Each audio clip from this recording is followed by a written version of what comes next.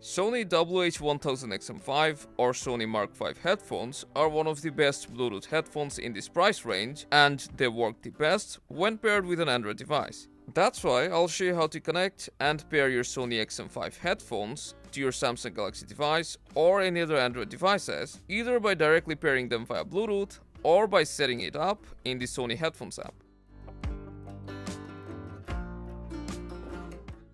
If you want to quickly pair your Sony headphones to your Android device, then you can simply go to the Bluetooth settings of your phone, then we'll put it into pairing mode. For that your headphones needs to be turned off. To turn them off, hold down the power button for about 3 seconds until the LED goes solid and turns off. After that, to get it into pairing mode, hold down the power button again and this time for 5 seconds, after which the LEDs will start blinking twice. Now it's in pairing mode and it should pop up under available devices. And sometimes you may also get the pop-up for the connection from where you can easily pair it to your Android device. And if you don't, just add it from the list.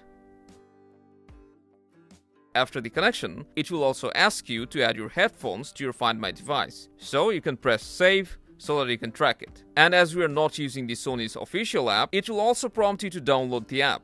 And I highly recommend you to do this because you'll be missing out on most of the features if you don't download the app. So we'll tap on download and install the Sony Headphones Connect app. Then choose your location, agree to the terms and conditions and press start. Press agree and proceed.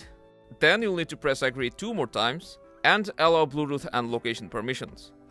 When you're done it will say registered, so we can press OK, skip the sign-in process if you want, then it will ask you to set up some features such as adaptive sound control and 360 audio. You need to press next and you can choose whether you want to set them up or do it later from the settings. We're gonna press later.